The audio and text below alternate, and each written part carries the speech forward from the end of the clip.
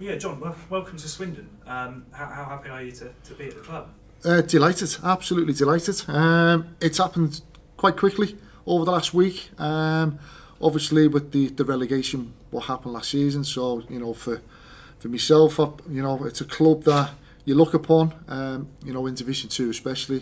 You know, it's definitely a Division 1 club, and that's our aim this year, is to try and get back the club back where it should be, belong. Um, and so I assume the challenge was something that, that was a factor in making you want to apply for the job. It is, yeah, but it's, it's Swindon Town. I mean, that uh, alone makes you want to apply for the job, and I'm sure there was numerous applicants for it as well. Um, and, and I'm fortunate enough to, to get my hands on it as such, so I'm absolutely delighted. It's a, it's a big club. Uh, there's a lot of work to be done. There's a lot of work to be done, a lot of players that we need to bring in, but that's another challenge within itself, and uh, I'm looking forward to that challenge. And in terms of ambitions, I suppose the ultimate goal is getting us back up. Is there anything else that you obviously want to achieve whilst you're here? Again, it, I think that's the fundamental of it. Really, is literally getting the club back into where it is. Because again, which which is going to be excellent this year. You know, the crowds are going to be back which I'm, you know, I, I, you know, I'm obviously thinking last season it didn't help the position the club was in.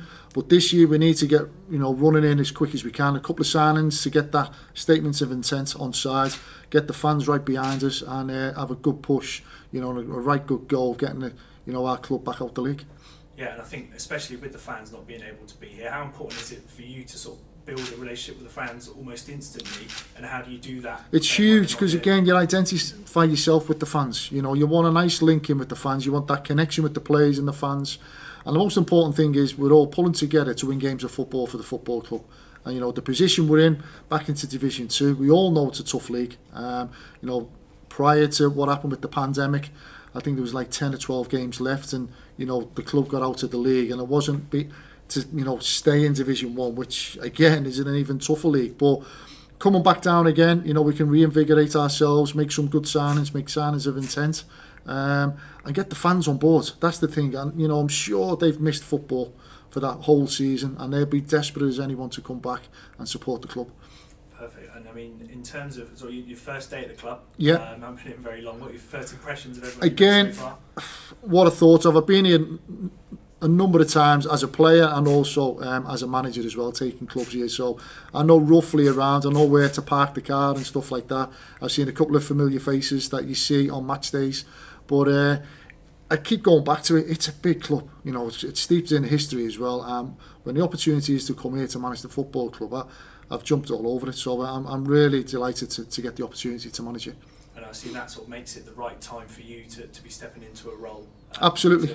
Yeah, absolutely. Because it is. It, it's a big challenge. You know, you only have to look at you know the, the, the change of staff and the players in the off season.